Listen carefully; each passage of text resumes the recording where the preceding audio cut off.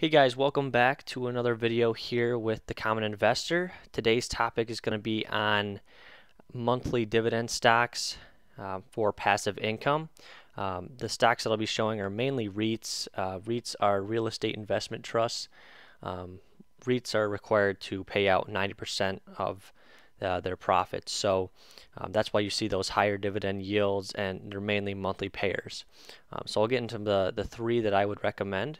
Uh, first, it would be um, ticker symbol GOOD. Um, that's Gladstone Commercial Corp. Uh, they have a dividend yield of about 8% right now. Um, with that high dividend yield, um, they don't have much capital appreciation as you can see over five years. Um, they're only up 17%. Um, however, if you're investing in them, you're really just investing for that dividend and that monthly payout. as of right now, Gladstone Commercial Corp pays out 12 cents uh, every single month that you own per stock you own. Um, so if you own $100 worth of Gladstone Commercial Corp, you'd be a, you'd have about 60 cents coming in every single month. Um, and as you can see, they don't change their uh, dividend at all for the past few years. Um, I believe they haven't changed it in the last nine years.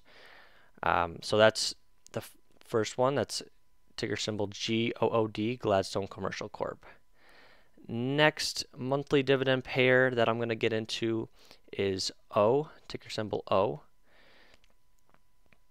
O is Realty Income Corporation, um, another REIT. Uh, dividend yields is a little bit lower, about 4.5%. Uh, however, as you can see over the past year, they're up 41%. Uh, they have they do have capital appreciation um, and they do increase their dividend over time. So it's kind of a, a different play, uh, more of a high, higher dividend. Um, if we look at their ex-dividend date, they pay out about 22 cents every single month. Uh, as you can see there, um, they just increased it from 22.1 cents to 22.6 cents. Um, and that's and this is another monthly dividend payer. Oh, Realty Income actually brands themselves as the monthly dividend paying stock. Um, last monthly dividend payer on the list here is my personal favorite. It is SPHD, and it's that's the ticker symbol SPHD. Um, SPHD is Invesco's uh, high dividend, low volatility ETF. Uh, as you can see over the past year, they haven't moved very much. It's very, it's more of a, a safer play um, with that high dividend of about, um, let's see, where is it?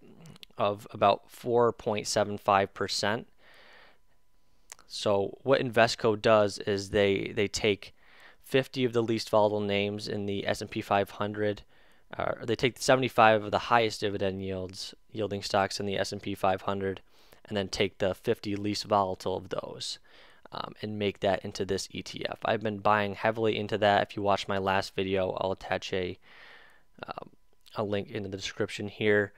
Um, I had mentioned that in my M1 Finance account, I am putting all of my money that I put into the account into that stock um, just for that the monthly payment. Um, so if we look at their ex dividend here, it's definitely all over the place because they they do change the stocks that are in, inside of it. Um, but it generally stays around 13, 14, 15 cents a share every single month. Um, and this is personally one that I am investing heavily into. So if you liked the video, feel free to like, comment, and subscribe.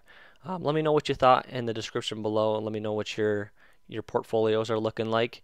Um, and as always, um, if you're looking to open up a Robinhood account or an M1 Finance account, feel free to use the links in the description below. You'll get either get a free stock if you're going on Robinhood, or you'll get a free $10 if you sign up with M1 Finance. Thanks, guys.